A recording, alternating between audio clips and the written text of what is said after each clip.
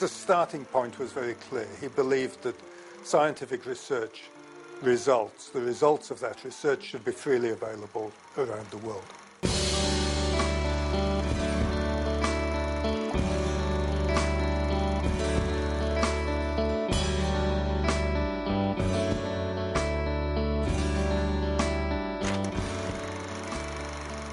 Fue Stopani el que le propuso hacer un postdoctorado acá en Inglaterra para perfeccionarse. Eh, nuestra intención fue volver a la Argentina. Volvimos a trabajar al Instituto Malbrán.